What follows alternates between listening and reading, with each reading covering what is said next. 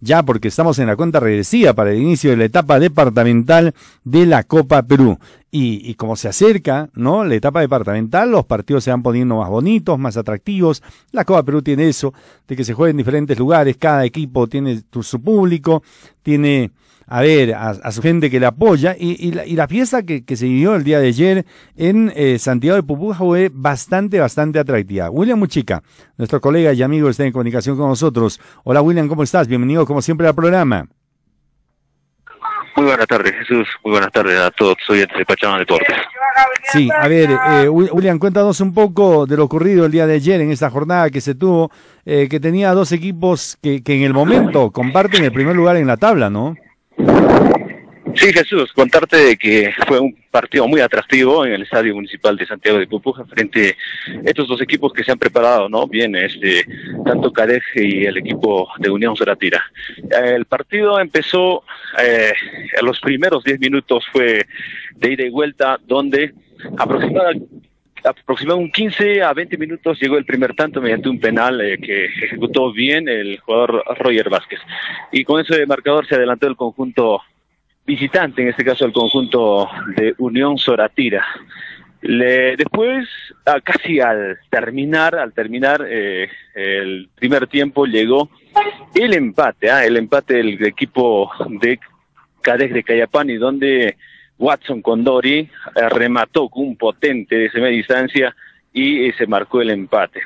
En el segundo tiempo, comentarte Jesús de que el partido se inclinó un poquito en los inicios del segundo tiempo para el equipo de Cadej de Cayapani, donde se adelanta en el marcador con un remate potente también del eh, delantero Alberto Monserrat, donde marca el segundo tanto y casi al terminar también del segundo tiempo llegó el empate de este conjunto de Unión Solatira que eh, llegó bien, eh, eh, marcó bien en la parte defensiva, en este caso el conjunto visitante. Fue un partido muy interesante, partido donde se prometía desde antes, días antes ya de este partido, Jesús.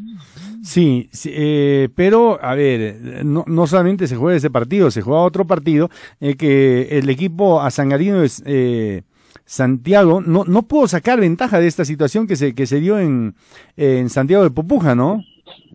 No, sí, sí, sí, eso es lo que estaba esperando también el conjunto de Fútbol Club San Santiago. Ayer no pudo con el equipo de Pozocón y de Asillo y este resultado ¿ah? no le favorece para nada, puesto que el equipo de San Santiago esperaba mucho más, eh, quizás sacar un resultado positivo en el estadio polideportivo y no pudo con este equipo del distrito de Asillo. Claro, y, y, con esto la tabla está bastante ajustada, William. Sí, tenemos la tabla de posición eh, cumplida ya la quinta fecha. Por ejemplo, por ejemplo, eh, en el grupo 1, o en este caso grupo A, donde Cádiz de Cayapani sigue encabezando con, por diferencia de goles con 10 puntos, Unión Soratira de la misma forma con el empate está con 10 puntos, eh, el equipo de Fútbol Club San Santiago apenas sumó sus cuatro puntos con el empate que tuvo el día de ayer. En el cuarto lugar está Estudiantes de Muñani, el quinto lugar Pozoconi, que ayer con el empate sacó un punto a este representativo de Fútbol Club San Santiago. En el otro grupo, en el grupo B, eh, el equipo de Azangarino, que es el otro representativo, que es Escuela de Fútbol Pumas, está con 10 puntos, ganó ayer, eh, 4 a 2 fue el marcador.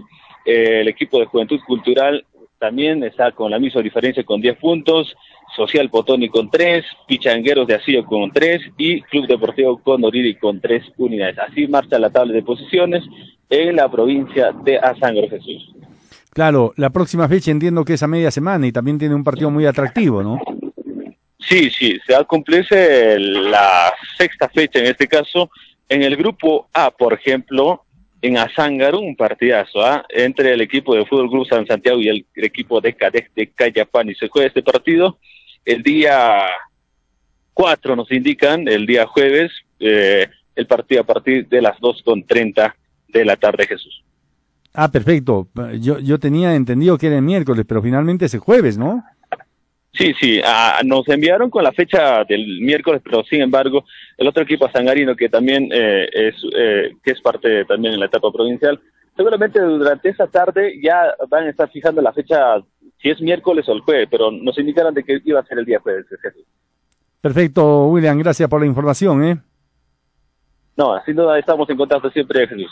Correcto. William Muchica, nuestro colega y amigo, corresponsal, a la vez eh, narrador también de, del programa, estuvo en comunicación con nosotros. A ver, son las 13 horas con 22 minutos, casi 23. Esperamos la confirmación de los partidos, ¿no? Si se juega miércoles o se juega el día jueves, va a ser un partido que podría estar eh, aclarando un poquito más ya, ¿no? Eh, aclarando un poquito más el panorama en la provincia de Azan.